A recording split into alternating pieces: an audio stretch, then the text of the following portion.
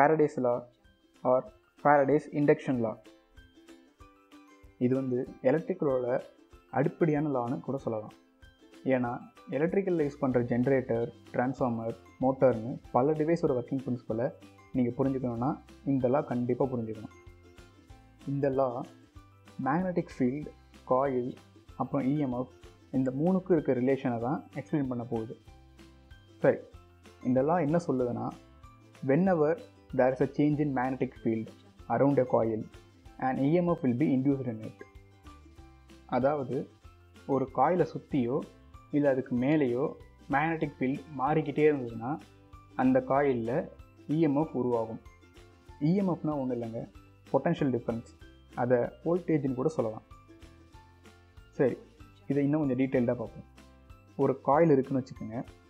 இந்த காயில் மேலே இல்லைனா இந்த காயிலை சுற்றி மேக்னெட்டிக் ஃபீல்ட் க்ரியேட் பண்ண போகிறோம் அது எப்படி பண்ணலாம்னா ஒரு மேக்னெட் எடுத்துக்கோங்க.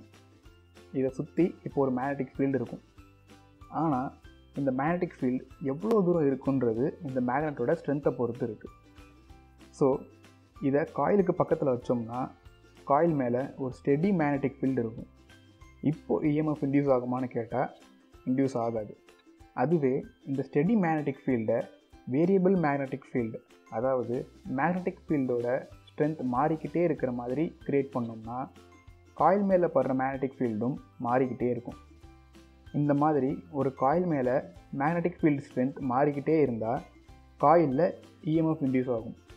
இதை இன்டியூஸ்டு இஎம்எஃப்னு சொல்லுவாங்க.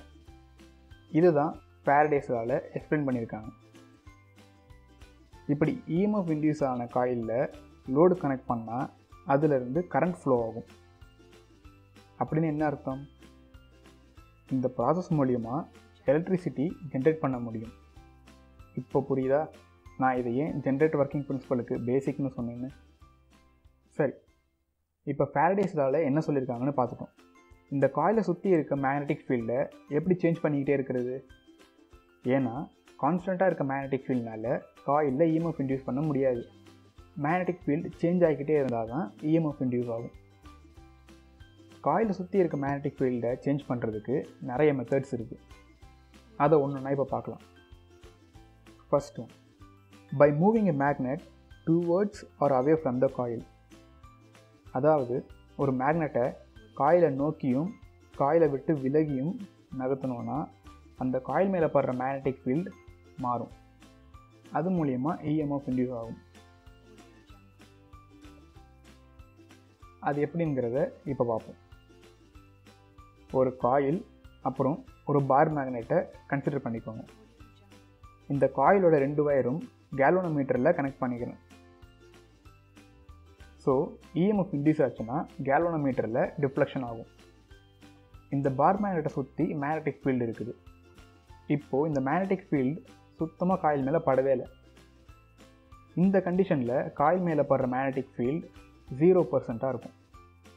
இப்போ மேக்னெட்டை கொஞ்சம் காயிலை நோக்கி நகர்த்தினா அதனால் இப்போ காயில் மேலே போகிற மேக்னெட்டிக் ஃபீல்டு இருபது பர்சண்ட்டாக இருக்கும்.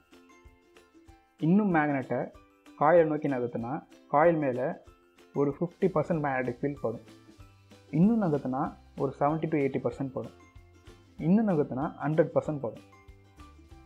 இப்போது மேக்னெட்டை ரிவர்ஸில் அதாவது காயிலை விட்டு விலகி நகர்த்தினோன்னா ஹண்ட்ரட் பர்சன்டில் இருக்க மேக்னெட்டிக் ஃபீல்டு கொஞ்சம் கொஞ்சமாக குறைஞ்சிக்கிட்டே வரும். ஸோ இப்படி பண்ணுறது மூலிமா காயில் மேலே போடுற மேக்னெட்டிக் ஃபீல்ட் மாறிக்கிட்டே இருக்குது அதனால் நமக்கு தேவையான சேஞ்ச் இன் மேக்னெட்டிக் ஃபீல்ட் கிடச்சிருச்சு. அதனால் காயில் இஎம்எஃப்பும் இன்டியூஸ் ஆகிடுச்சு அடுத்த method by moving a coil into or out of the magnetic field அதாவது மேக்னெட்டை ஸ்டேபிளாக வச்சுக்கிட்டு காயிலை மேக்னெட்டை நோக்கியும் மேக்னெட்டை விட்டு விலகியும் நகர்த்துறது மூலியமாக காயில் மேலே படுற மேக்னெட்டிக் ஃபீல்டு மாறிக்கிட்டே இருக்கும்.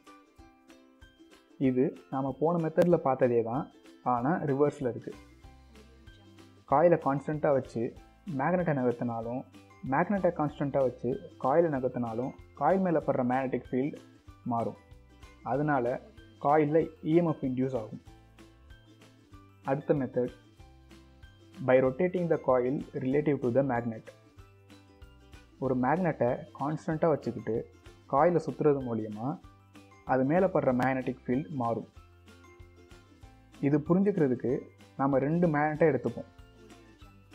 ரெண்டுத்தையும் ஆப்போசிட் சைட் ஃபேஸ் பண்ணி வச்சுருக்கோம். லெஃப்ட் சைடில் நார்த் போல் ரைட் சைடில் சவுத்து போல் இதுக்கு நடுவில் காயில் வச்சுருக்கோம். இப்போது இந்த காயில் சுற்றினா இதில் படுற மேக்னெட்டிக் ஃபீல்டு மாறிக்கிட்டே இருக்கும். அதனால் இஎம்எஃப் இன்டியூஸ் ஆகும். ஆனால் இதில் ஒவ்வொரு நூற்றி எண்பது டிகிரி ரொட்டேஷனுக்கும் இன்டியூஸ் ஆகிற இஎம்எஃபோட பொலாரிட்டி மாறும். பை மீன்ஸ் கரண்ட் ஃப்ளோ டைரக்ஷனும் மாறும். இது ஏன் கரண்ட் ஃப்ளோ டைரக்ஷன் மாறுதுன்னு ஃப்ளெமிங்ஸ் ரூலில் சொல்லியிருப்பாங்க. அதை இன்னொரு வீடியோவில் பார்ப்போம். இப்போது இதில் பார்த்தீங்கன்னா காயிலோட ஒவ்வொரு ஆங்கிள் ஆஃப் ரொட்டேஷனுக்கும் அது மேலே படுற நம்பர் ஆஃப் மேக்னட்டிக் லைன்ஸ் மாறும். அதனால் இஎம்எஃப் இன்டியூஸ் ஆகும். காயில் ஜீரோ டிகிரியில் இருக்கும்போது கேல்வனோமீட்டரில் ஜீரோ டிஃப்ளெக்ஷன் இருக்குது. அதுவே 90 டிகிரி ரொட்டேட் பண்ணும்போது மேக்னெட்டிக் லைன்ஸ் முன்னாடியை விட அதிகமாக படுறதால இஎம்எஃப் பாசிட்டிவ் டைரக்ஷனில் இன்டியூஸ் ஆகுது. அதை கேல்வனோமீட்டரில் பார்க்கலாம். அடுத்த ஒன் எயிட்டி டிகிரியில் அகைன் காயில் மேலே படுற மேக்னெட்டிக் லைன் கம்மியாகிறதால இஎம்எஃப் இன்டியூஸ் ஆகலை. நெக்ஸ்ட் டூ செவன்ட்டி டிகிரிக்கு முன்னாடி சொன்ன மாதிரி நெகட்டிவ் டைரக்ஷனில் இஎம்எஃப் இன்டியூஸ் ஆகும். அடுத்து த்ரீ சிக்ஸ்டி டிகிரிக்கு அகைன் கேலோனோமீட்டர் ஜீரோ டிஃப்ளெக்ஷனுக்கு வந்திருக்கு. ஸோ இது மூலிமா என்ன தெரியுதுன்னா காயிலை சுற்றுறது மூலியமாகவும் காயில் மேலே படுற மேக்னெட்டிக் ஃபீல்டை சேஞ்ச் பண்ண முடியும். அடுத்த method by rotating the magnet around the coil காயிலை கான்ஸ்டண்ட்டாக வச்சுக்கிட்டு மேக்னெட்டை சுற்றினா அதில் படுற மேக்னெட்டிக் ஃபீல்டு வேரி ஆகும். இது போன மெத்தடில் பார்த்த மாதிரி தான் மேக்னெட்டோட ஒவ்வொரு டிகிரி ரொட்டேஷனுக்கும் காயில் மேலே படுற மேக்னெட்டிக் ஃபீல்ட் மாறும்.